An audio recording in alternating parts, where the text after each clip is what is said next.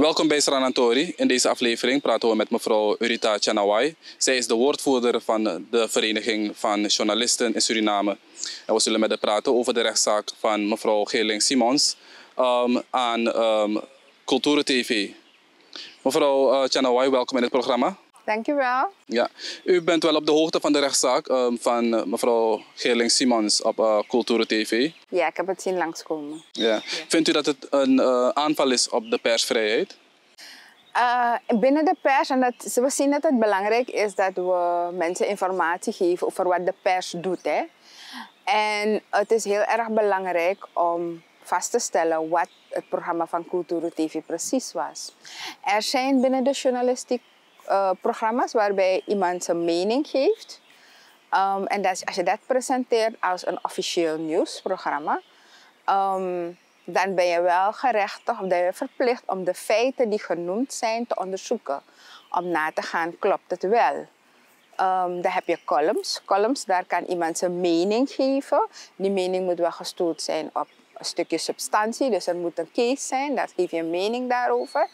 In deze case denk ik dat het ging over de mening van iemand die werd geïnterviewd. In deze weet ik dus niet of de feiten die zijn genoemd door de persoon die werd geïnterviewd geverifieerd zijn.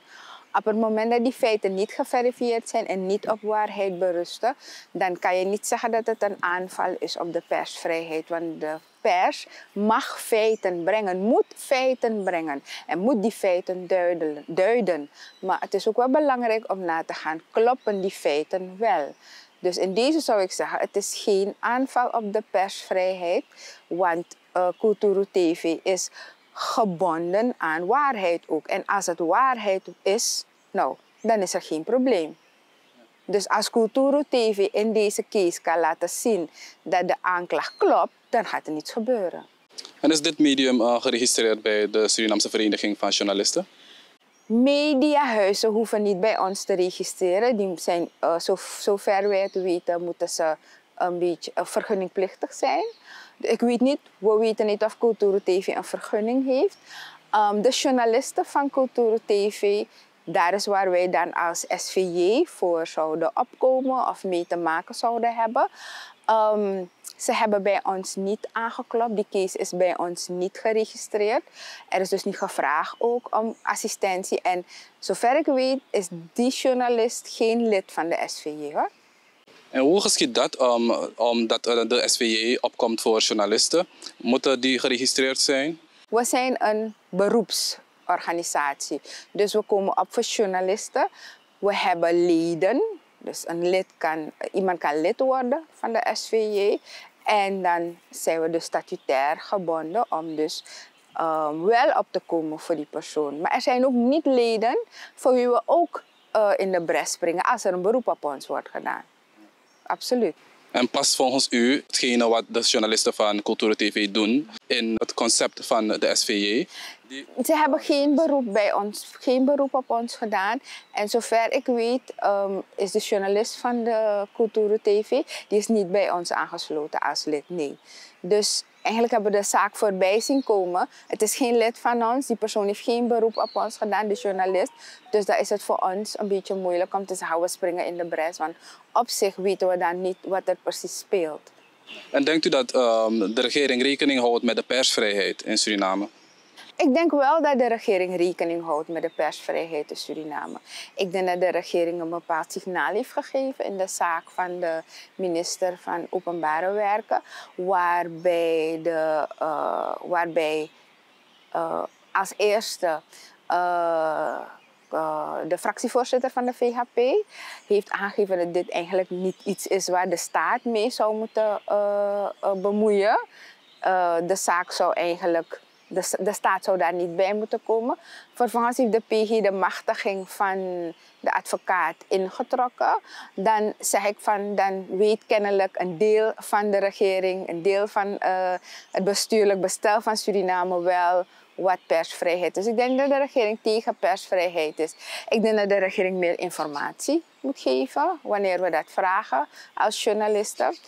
Uh, de regering is, heeft moeite met fake news, dat kunnen we begrijpen. Wij hebben ook moeite met fake news, want men scheert iedereen over één kam. Eén journalist is hetzelfde als een Facebook-persoon die een mic heeft, is not the same. Ja?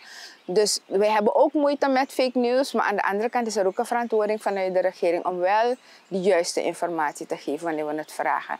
En daar zien we nog dat het zaken niet gaan zoals het moet. Hoe verloopt de relatie tussen de regering en eh, de SVJ? Op zich hebben we een, een, we hebben een gesprek gehad met de minister van eh, Buitenlandse Zaken. Een soort van kennismakingsgesprek hebben we gehad. Hij heeft benadrukt waar de regering, zorg, waar de regering zich zorgen om baart. En wij hebben, daar, we hebben dat aangehoord en wij hebben gezegd, we gaan met onze leden afstemmen om vervolgens weer een antwoord te geven daarop. Want de bezorgdheid, dat snappen we, maar we, zijn meer in, we denken meer in termen van oplossingen. Dus wat kunnen we daaraan doen? Dus daarop zijn we nog een antwoord aan het formuleren. En om, en om welke bezorgdheid gaat het? De bezorgdheid om fake news de bezorgdheid om social media, waarop mensen persoonlijk worden aangevallen. Um, dat, dat baart de regering zorgen. Um, je moet je zo voorstellen dat als uh, een regering, ik zeg maar wat zegt, dat ze um, bang zijn dat zaken kunnen uitlopen op, op, op een, uh, een treffen tussen groepen. En iemand maakt daarvan, de minister is bang dat het kan uitlopen op een burgeroorlog omdat, spanning, omdat er spanningen zijn. Daar is er net een, een nuance aangebracht die niet meer correspondeert met de waarheid. Want op zich heeft hij het niet zo bedoeld en heeft het ook niet zo gezegd. Dus dat zijn dingen waarom de regering is voorbeeld. Dat zijn dingen waarom de regering zich zorgen maakt. En wij als pers zijn ook gebonden aan het brengen van waarheidsgetrouwe informatie. Dus ons baart het ook zorgen dat er zoveel fake news is. Maar wij moeten daarin een, een bepaalde uh, oplossing, een bepaalde manier van werken vinden. En daarmee zijn we bezig. Wij als SVJ maken ons ook zorgen om fake news, omdat wij als journalisten gebonden zijn aan het brengen van waarheidsgetrouwe informatie. En we zien dus een soort generalisatie. Er is weinig informatie over wat precies een journalist doet. Um, we brengen nieuws, maar er zijn verschillende genres binnen het nieuws. Er is ook satire, waarbij je een nieuwsbericht brengt, maar waar, waarbij je een bericht brengt en je ook aangeeft of duidelijk te zien is dat het om een satirisch iets gaat. Mensen kennen de genres niet, dat zien we ook. Maar um, we zijn ook bezorgd om fake news en we willen wel kijken naar mogelijkheden om dat te beperken. En één mogelijkheid is dus een goede informatiestroom vanuit uh, autoriteiten naar ons toe, de regering. Maar we hebben ook um, andere organisaties die we om informatie vragen. Um, waarbij we zeggen van dat moet ook verbeteren. Het is niet alleen de overheid. Denkt u dat de minister van Openbare Werken op het matje geroepen moet worden door, uh, ik weet niet, de president? Dus als we kijken naar de manier hoe de bewindsman omgaat met de journalisten of de pers. Ik denk niet dat, de, uh, ik, denk niet dat ik moet bepalen, dat wij van SVJ moeten bepalen wat de president moet doen. Hij weet het ongetwijfeld zeker wel wat hij moet doen. Wij vinden echter wel dat um, wij niet goed behandeld zijn in deze case. En het wel zo is dat we, um, dat we gewoon ons werk hebben gedaan. En op basis daarvan kunnen we niet um, eigenlijk afgeblaft worden, eigenlijk bang gemaakt worden. Ik zeg het altijd, de regering moet beseffen dat zij de toon zetten. Hoe zij met de pers omgaan, zo gaan andere organisaties ook met ons om. Zo van, nou, als de regering niet doet, dat zijn waarom moet ik? Terwijl informatie verstrekken is vreselijk belangrijk.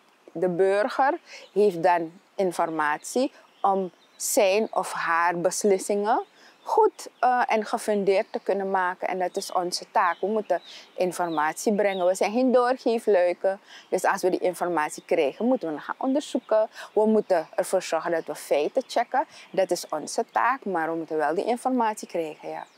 En is de regering goed op weg als uh, u het hebt over die informatie verschaffen naar de samenleving toe, naar de pers, via de pers?